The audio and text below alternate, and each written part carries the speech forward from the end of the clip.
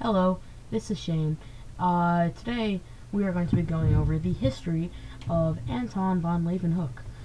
He was born 1632.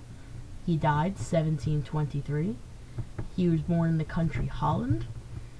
His first wife was Barbara de Mey. His, he had one surviving daughter named Maria. He had four other children that died in infancy. Bar Barbara died in 1666. He remarried Cornelius uh, Swalmius in 1671.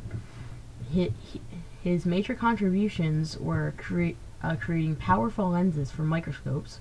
He looked at mold, bees, and lice. He looked at single-cell organisms. Uh, he looked at pond water.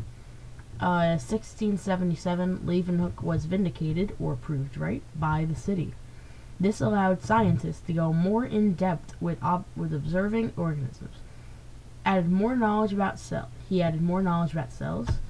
Uh, he was associated with Robert Hooke, uh, who was also living at the same time period, but he liked to work alone. And some fun facts. The clarinet was invented in 1690. And also in 1690, John Flamsteed discovers Uranus without realizing it. Thank you and have a great day.